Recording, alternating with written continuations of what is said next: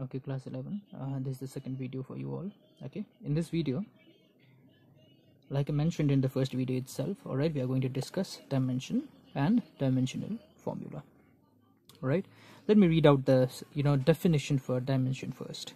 The power to which fundamental quantities are to be raised okay to represent or express a given physical quantity is called dimension all right. Now let me tell you at the very beginning that you know uh, this topic might seem or might sound difficult all right but let me at the very beginning tell you it's a very very easy topic. All right? It's a very very easy topic. Okay? Now before we discuss the you know statement given over here okay you can pause the video of course and you know note it down. All right?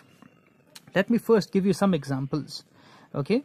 And then after you'll understand what dimension and dimensional formula are. All right uh, okay. Now see first of all let me show you our fundamental quantities. Okay mass length time temperature current. These are the five basic fundamental quantities that we very often encounter. Okay we'll need. All right now instead of mass we'll write a capital m. Instead of length we'll write capital l. Time will be denoted by a capital t. Temperature will be denoted by theta. Since t already denotes time okay we cannot use t to denote temperature. So we are using theta. Okay and a denotes current a comes from ampere all right so a denotes current. Now the question would be like you know uh, find the dimension of speed or could be find the dimensional formula of speed all right now see get one thing very very clearly. In order to know or know in order to calculate dimension or dimensional formula okay uh, you have to know the formula. You have to know you know uh, the formula for that particular physical quantity. Like for example the formula for speed is distance upon time. Okay? Speed is distance upon time. You need to know this. If you know this okay you can easily calculate the dimension. See how. Now distance basically is length. So instead of distance we'll write capital L because L denotes length. Okay? So instead of distance L divided by time is denoted by a capital T. So T. So I can rewrite this thing as L t to the power, I take t to the numerator, so this becomes t to the power minus 1. So I put this thing inside bracket. So this thing inside the bracket is what is called the dimensional formula for speed, remember. Okay, LT inverse is the dimensional formula for speed. But uh, what the norm is like is, what the norm is, uh, we express dimensional formula in terms of mass, length and time okay? Generally we express dimensional formula in terms of these three most fundamental physical quantities mass length and time. But mass is not here. We don't have mass here. So what we write is we write m to the power 0 l t inverse.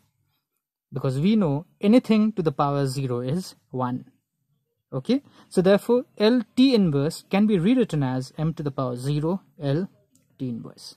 So this is the dimensional formula for speed remember.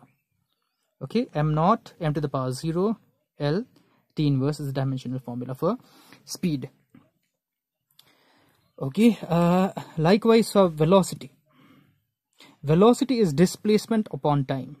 Now displacement basically is length. Okay so therefore this is also l by t which is lt inverse. Again so therefore m naught i'm not m naught actually. M to the power 0 l t inverse and we use square brackets. Okay? So inside square brackets we have m to the power 0 l t inverse. This is the dimensional formula for velocity. And we see that the dimensional formula for both speed and velocity is the same. Okay? Oh and by the way dimensions the dimension of speed and also that of velocity is 0 1 minus 1 the dimensions of the dimension of speed and velocity is 0 1 minus 1 okay for mass length and time respectively okay because m is raised to the power 0 l is raised to the power 1 t is raised to the power minus 1 so therefore the dimension of speed and velocity is this whereas the dimensional formula is this. Now in some books okay and some people very mm, often okay call this itself the dimensional formula as dimension itself okay. Sometimes i i myself call the dimensional formula as dimension okay all right but actually to be very precise okay uh, the dimension is the power here now let us go back to the definition dimension as i mentioned is the power to which the fundamental quantities are to be raised okay to express or to represent a given physical quantity. So you were to represent or express speed over here. All right. So speed is expressed this way. All right. So this is the dimension for dimension or dimensional formula for speed and dimensional formula for velocity. Okay. Likewise, let's look at momentum. As I mentioned, you need to know what momentum is. You need to know the formula, so to say, for momentum okay momentum is mass into velocity this is the formula if you don't know this of course you cannot calculate the dimension forget about calculating dimension and dimensional formula okay you have to know this the formulae okay so momentum is mass into velocity which is mass m for mass and velocity is l upon t so we write l upon t. So this is m l t to the power minus 1 this is the dimensional formula for momentum. And the dimension for momentum will be 1 1 minus 1 okay? Uh, 1 1 minus 1 that for m l and t in case of momentum. That will be the dimension of momentum. Okay uh, force likewise is mass into acceleration. Oh before we do force okay let us do acceleration. Acceleration is velocity upon time.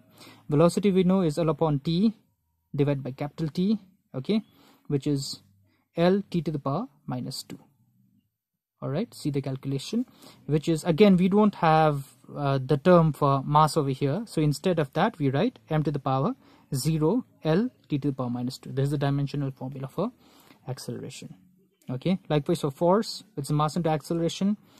M for mass okay?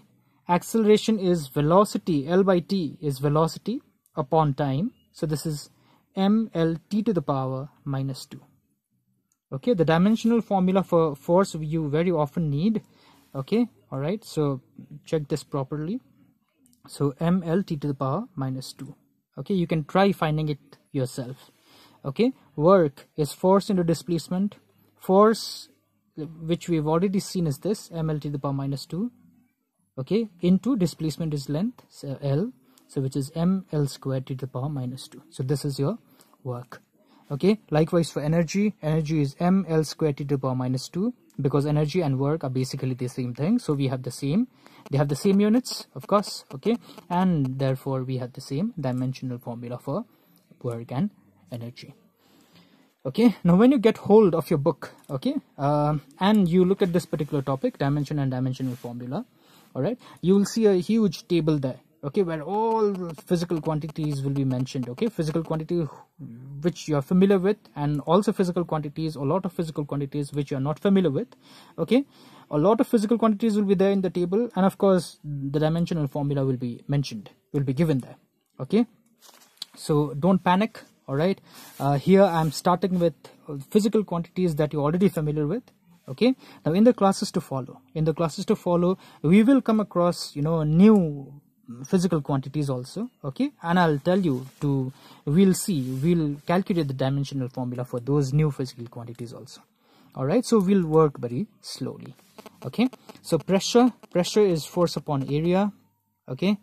Uh, pressure is force upon area. This is the dimensional formula for force okay?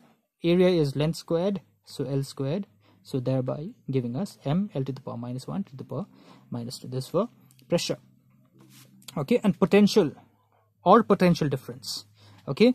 Potential difference uh, is work upon charge work divided by charge okay? The amount of work that is to be done to take a unit charge from one point to the other that is what is called potential difference between these two points a and b okay i hope you're familiar with the definition. Okay uh, from your class 10 physics when you did current electricity there. Okay work done to bring a unit charge from one point to the other is what is called potential difference between these two points. Okay so therefore potential difference is work upon charge. The work we've seen okay we've already seen let me show you again. The dimensional formula for work is this ml squared to the power minus 2 so ml squared to the power minus 2 the dimensional formula for work divided by charge charge i have shown you in the in a previous video itself okay? The okay yeah the unit for charge is ampere second okay? All right because charge can be written as current into time okay? So this is so to say the formula for charge okay? So which can be written as the dimension for charge will be a into time at okay? So therefore we have it here at okay this representing current and this representing time.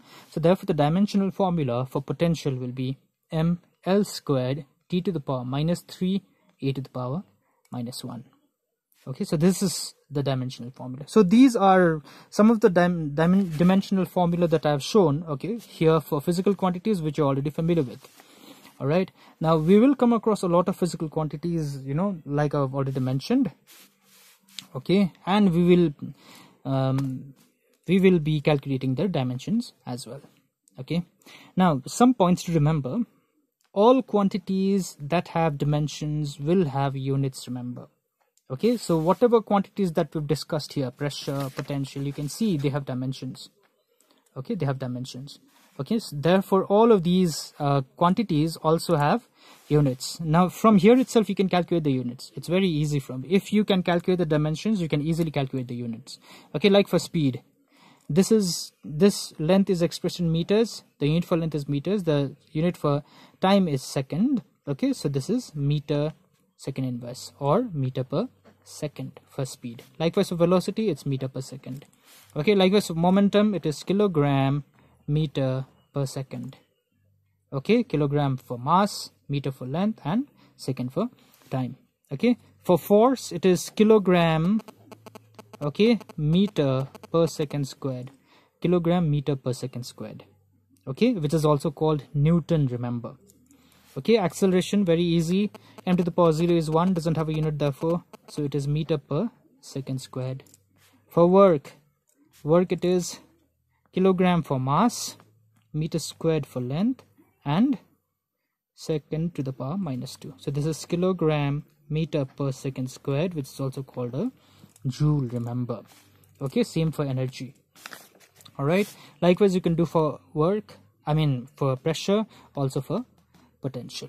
Okay so all quantities that have dimensions will definitely have units remember. Okay but of course there are some quantities which have no dimension but they have units all right no dimensions remember. No dimensions. But they have units. For example angle. Okay? Which is measured in radian. The unit for angle is radian. Okay? But angle as such has no dimension remember that. Like solid angle likewise okay um, has a unit which is steradian it's called steradian okay? This is also dimensionless quantity remember that. Okay uh, so i think this much will do for the video.